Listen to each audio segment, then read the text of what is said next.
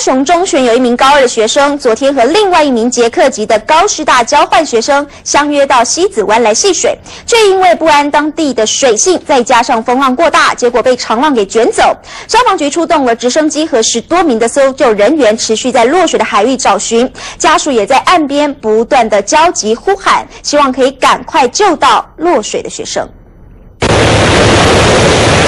搜救人员顶着大浪爬上礁岩，四处寻找落水熊中生的下落。虽然曾经一度发现了他的踪影，不过现场的风浪实在太大，要前往抢救时又早已经被大浪卷走。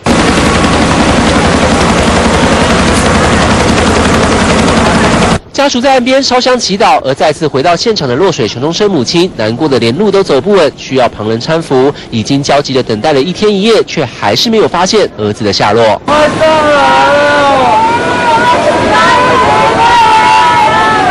即将升高三的庄姓熊中生，十七号中午向家人表示要前往学校，之后却和另一名高师大捷克籍的交换学生相约前往戏水，还选择来到这片人烟罕至的水域，结果发生溺水的意外。目前搜救人员也出动了直升机和水上摩托车来回找寻，希望可以在海象变得更恶劣之前，尽快发现落水庄姓熊中生的下落。